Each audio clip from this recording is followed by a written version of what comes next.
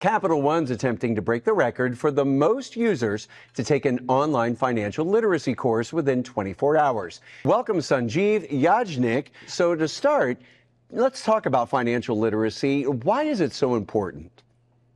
Thank you. Really appreciate this opportunity. You know, I uh, I grew up in Calcutta, India, and ever since I was a, a young boy, I I saw the impact of finance uh, of understanding finance, of budgeting, saving, etc., all around me. And now that uh, you know I've settled in the U.S., I'm a U.S. citizen. My children have grown up here, and looking all around us, I believe that one of the greatest things that we can do in this country uh, is to make sure that financial literacy is available to all because it creates a foundation for vibrant and secure families, vibrant and secure communities. It is such an important thing. And so I am very passionate about this, uh, this particular topic. And what can we expect to learn from the experience?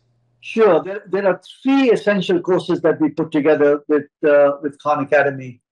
Uh, one is budgeting and saving. And this is such a essential, it's kind of a foundational thing. And, you know, some of the things that we'd like people to really understand is the power of compounding, the power of budgeting, but budgeting and saving early because the human mind is not built to really understand how money grows, and starting early is incredibly important. Budgeting and saving is for now and not after one becomes 40 or 50 or 60, although there's it's never too late, right?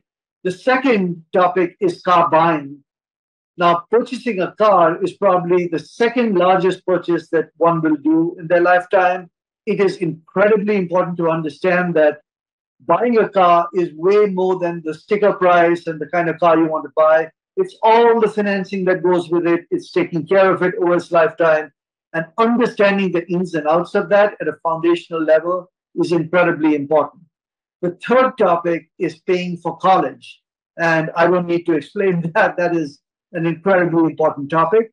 And what we've tried to do is demystify it and make it get the foundations right because these are really, really important for people.